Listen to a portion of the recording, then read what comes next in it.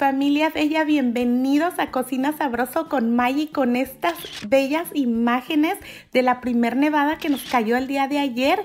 Te recibo en este canal con mucho cariño y el día de hoy vamos a preparar unas deliciosas papas salteadas. Nos quedarán súper ricas, son fáciles de preparar para que puedas acompañarla en cualquiera de tus platillos o simplemente comértelas así solitas hasta como de botana.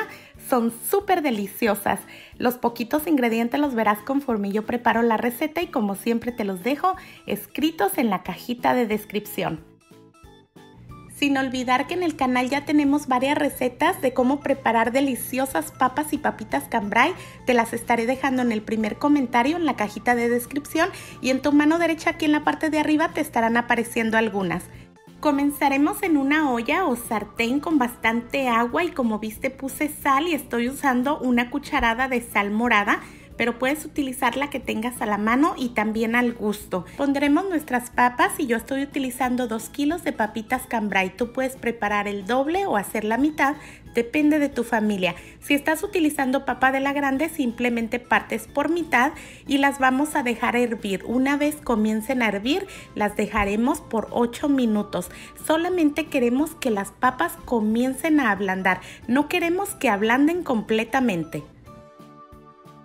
Cuando hayan pasado unos 8 minutos checaremos nuestras papas y si tú ves que el tenedor se le va así suave pero aún no están completamente cocidas, nuestras papas están listas y las vamos a retirar del agua. Y en este momento voy a aprovechar para enviar un caluroso saludo a David González de México, Martín Cuevas, Clementina García, Princesita Bautista, Marlene Moreno de Colombia, Rafi Milano de Miami, Araceli Campos de Guatemala, Wendy Paguero de República Dominicana, Cecilia Vargas de Argentina, Mariela Vizcaina de Perú, Pauli Mellado de España. Muchísimas gracias a todos por sus lindos comentarios.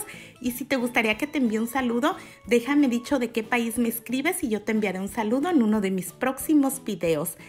Ahora como viste en un sartén muy amplio y a fuego alto puse una cucharada de aceite y pondremos dos cucharadas de mantequilla.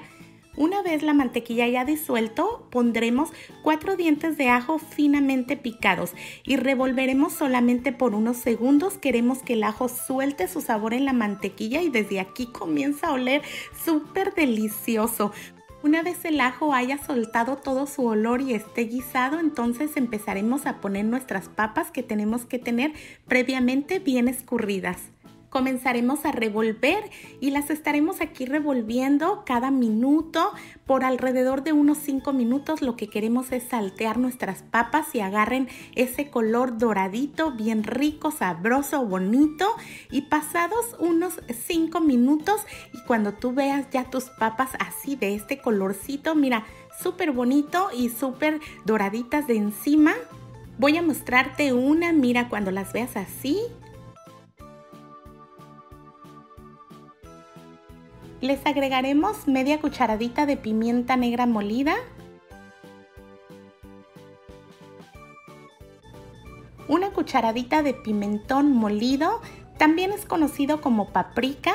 Este condimento no es picante, es solamente para darle color y sabor. El jugo de un limón, yo estoy utilizando limón amarillo, pero puedes utilizar limón verde y no sabes el contraste de sabor que le da a las papitas el jugo con la mantequilla, el ajo, todo revuelto. Aquí no, no, no. De verdad necesitas prepararlas y probarlas. Vamos a revolver nuestras papitas muy bien para que todos esos sabores se incorporen y ya nuestras papitas impregnadas de todos esos sabores vamos a apagar nuestra cazuela y estas papitas están más que listas para servirse, pero aún falta nuestro último ingrediente para darle el toque final.